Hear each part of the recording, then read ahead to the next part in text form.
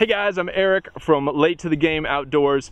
I uh, wanted to talk again about archery. Uh, my archery elk season starts in 25 days, so it is just a mad scramble for me to get as much time as I can out here in the desert shooting, uh, getting my gear dialed in, doing scouting, all that stuff that you're all trying to find time to do as well.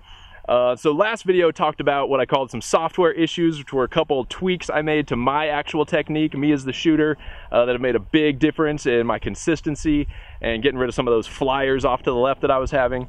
Uh, today I want to talk about one piece of hardware that I adjusted that I think is making a difference as well. Uh, I think the temptation a lot of times for us as archers is to believe that surely it couldn't be us, it has to be our equipment. Uh, and so we're trying to get the latest and greatest bow or try a thousand different releases or uh, new sights, new whatever. We could, I mean, these are grown-up men Barbie dolls. We could add a thousand things to these uh, just to try to dial things in, make things better when I think a lot of times we should spend more time on us as shooters. However, there is value in the hardware side of things and some stuff to look at uh, that could actually really help our performance as archers. So the one thing that I was looking into and starting to suspect was my stabilizer.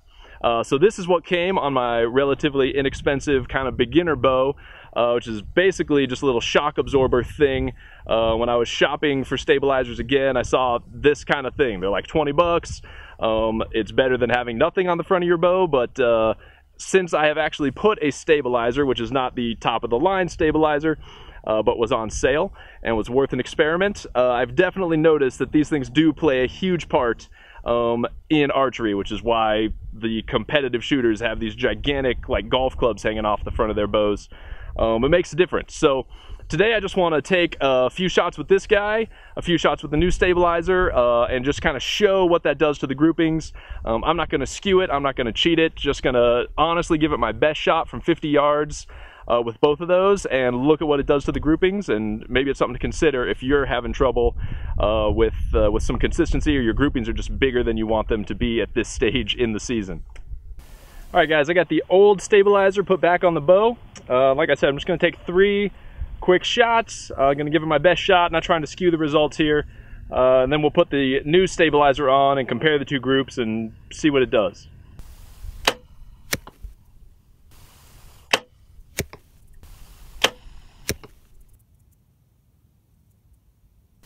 Alright guys, this is the same drill, except I have the new stabilizer installed on the bow. Just going to send three arrows from 50 yards and see if it does anything to tighten up that group.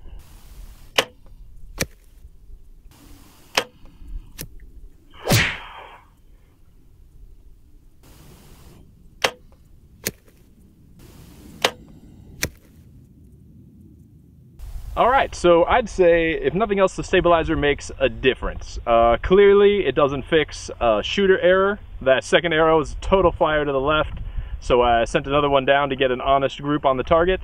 Um, everything's missing a little left, which I either need to look at me or maybe make a slight adjustment on the sight. Um, but uh, I'm amazed at how much smaller the group gets when I do everything right and do my fundamentals consistently with the stabilizer. Uh, again, it's nothing fancy. It was it's a Trophy Ridge six inch thing. I'm not selling these things.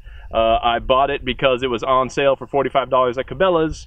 And uh, if you're like me and you have a wife and three kids and uh, financial things that have to happen, it's a lot easier to explain to the wife a $45 stick that comes out of your bow as opposed to a $120 one. Another thing I've noticed about the stabilizer is it uh, stabilizes, go figure. Uh, but uh, you feel a lot less vibration in your hand. Uh, I didn't realize how much I was feeling until I had something to compare it to when I put this other one on. But everything just feels so much more solid.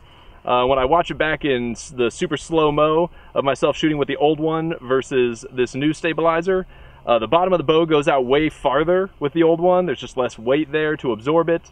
Um, you can actually see the vibration in your forearm and your wrist as that string impacts, um, and that's just minimized with the stabilizer. So that's all I got. It's not going to solve all your problems, but uh, if your groupings are a little bigger than you want them to be, especially as you get out to further distances, um, and your fundamentals are good, uh, I would look at something like this. Uh, I'm sure there's arguments to be made for rests and sights and, and a whole bunch of other stuff, uh, but this is one of the cheapest, simplest upgrades you can make to your bow uh, that will help dial things in that much more, make you feel that much more confident heading into the woods this year.